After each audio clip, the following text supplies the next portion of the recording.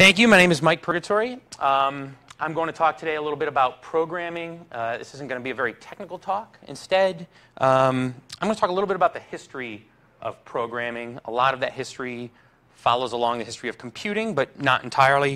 Um, I'm going to talk about what makes modern languages distinct.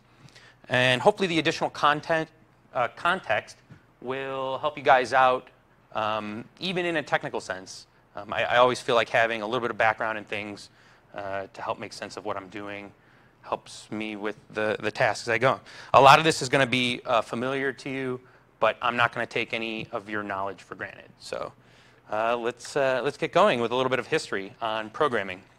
Um, programming kind of starts around 8, 850 um, in what we would call today Baghdad, I'm not sure if it was had the same name back then, but um, the Banu Musa brothers um, published a book called the Book of Ingenious Devices.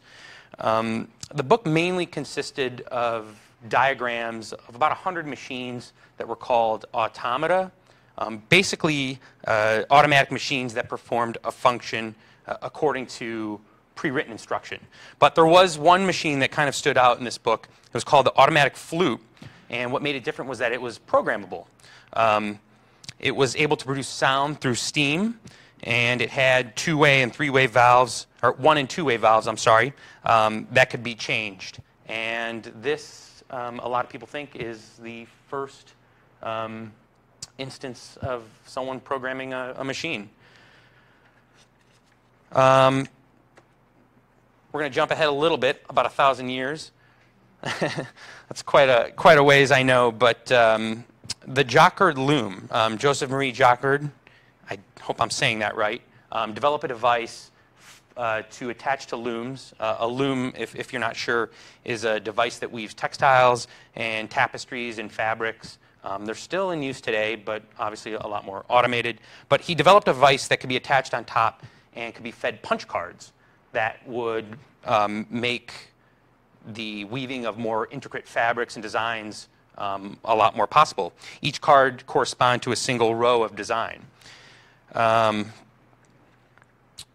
also, around that same time, we had, oops, excuse me, we had the auto piano players that kind of operate in a similar manner. They used cards or this, this paper. We've all kind of seen these in these old-timey Western movies, but um, those were, in a sense, using a, an, an early form of punch cards. Uh, jump to 1830s. Probably a lot of you guys have heard of Charles Babbage and Ada Lovelace. Um, Charles Babbage uh, developed a device he called the analytic engine. Um, basically was a mechanical uh, computer. Um, this also used punch cards. Um, the computer had, uh, used uh, things such as sequential control, branching, looping. Um, it was said to be Turing complete which means that it could uh, simulate a single tape Turing machine. It was essentially a computer. Um, but the more relevant to what we're talking about was uh, Ada Lovelace and her algorithm she wrote to calculate Bernoulli numbers on the device. Um, this is widely considered as the first complex program. Um, of course, as you just saw, there was programming before, but this is the, this is the what is considered the first um, complex program. Uh, there's some debate on how much of it is actually from Ada Lovelace. Don't want to get too much into it, but uh, she, is, she is credited as being the, the first computer programmer. Um, and then we go into the late 1800s. Uh, Herman Hollerith um, started a company called the Tabulating Machine Company, which would later become IBM through various mergers and acquisitions. But uh, he again used punch cards. Uh, his machine developed, was developed to track census data. Uh, before that, it was all done by hand. There was a lot of errors. It wasn't very efficient. Um, here's an example of his uh, one of the cards that might be used for his machine. Uh, the machine was also used for things like employee timekeeping, uh, scales, using weighing scales, and automatic meat slicers. So, also kind of love how like all the old-timey computer uh, companies like had very literal names. Tabulating machine company. Now we have like Uber, which doesn't mean anything, but I hope one day maybe they go back to that. Um, okay, so 1940s, we're into the uh, the electronic computer age. And this is ENIAC, um, considered the first electronic computer. Um, ENIAC was developed to calculate artillery firing tables. Um, it really was just a collection of other machines, each machine being, uh, they, they would call each machine a function table, and really each of these sort of sub-machines just, just calculate one function.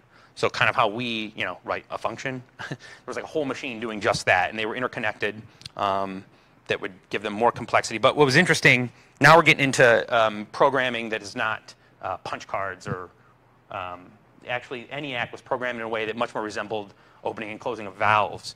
Um, it had each machine, each of those um, function tables had 1,200 10-way switches, and it took weeks for the programmers to diagram these things out. Um, it then took days to get all the switches and cables into place. And then, so once you had this set up, um, obviously this is one program, and they, they, ran as many, um, as many tests on this one program as they possibly could for they had to change it again for obvious reasons. Uh, to debug the thing, it was a very physical process. You had to literally, they had to climb into these machines, uh, kind of reconnect loose cables or make sure switches were in place. Um, thank God we're beyond that. Um, so now we're in the electronic computer age, and we get into um, something that resembles more of what we know as programming. Um, we again, we've talked about machine code and assembly language. Um, machine code is basically just instruction that's executed directly by a computer central processing unit. Um, nobody writes in it anymore, again, for very obvious reasons. Um, it was very difficult. It, uh, it's been said that looking at machine code is vaguely comparable to looking at DNA, uh, DNA molecule, mo atom by atom. And the US Copyright Office, you can, you can copyright, copyright register a computer program, but they can't copyright anything written in machine code because it's so complex they can't determine if it's original or not. Um, so we had to find a better way, and we did a little bit with assembly language. Um, there's a very, assembly language has a very strong correlation to me, uh, machine code, almost one-to-one. Um, it is still very low level. Um, the thing about assembly language is that it was not, a language had to be devised for each computer architecture. It wasn't just like one language that could move from computer system to computer system. Um, and what it does is it uses mnemonic uh, representation uh, to stand in for uh, machine instructions. So um, it wasn't it wasn't hiding much abstraction. You you could have a thing like move that would be used to represent moving uh, bits to different registers. So um, and both of these incidentally say hello world. Interesting. Um, so then we get into high level um, programming.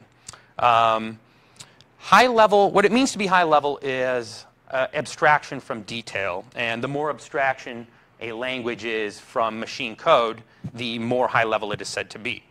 Um, high, uh, high level programming um, is, uh, it, it, favors usability over optimal efficiency.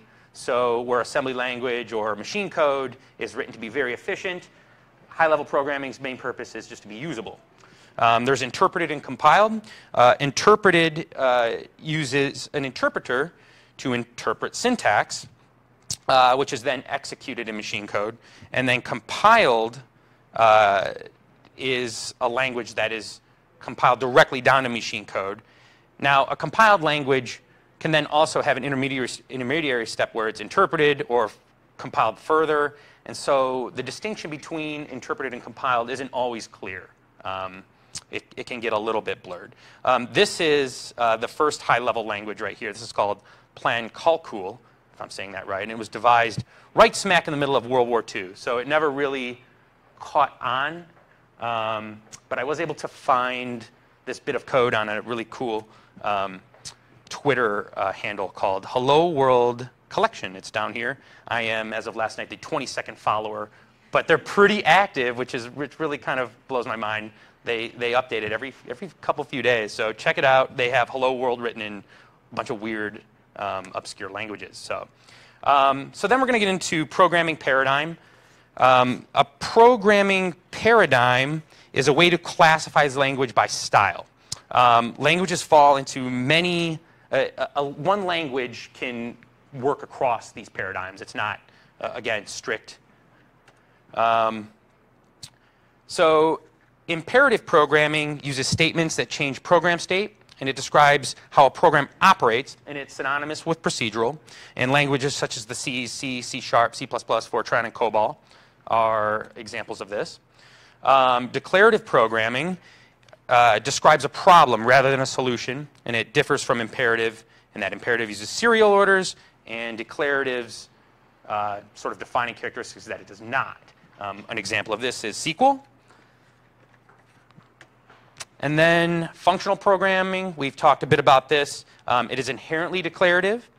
Um, it, uh, it uses pure functions that avoid changing the state. And its output is solely dependent on its input. And it's mainly just used in academia. There's not much commercial software being written in um, functional programs, but examples of those are Hope and Haskell. And then lastly, we come to object-oriented programming, which uh, again, something that we kind of all know. Most popular languages today are object-oriented, but the main concept behind uh, object-oriented is that it uses objects which have fields that contain data, um, which are attributes, and then fields that also contain code, which are methods. And then a, a key feature of object-oriented is that methods can access and modify data within the objects. And the most popular ones are class-based, where, uh, where an object is an instance of a class. And of course, um, the, the popular ones are uh, C++, JavaScript, Python, um, Ruby, probably most of the ones you, you guys have heard on. So anyways, that's sort of a, a broad overview of the history and classifications of programming languages. There's a ton more, um, but uh, hopefully a little bit of the history and context will help you guys out going, going forward. So thank you.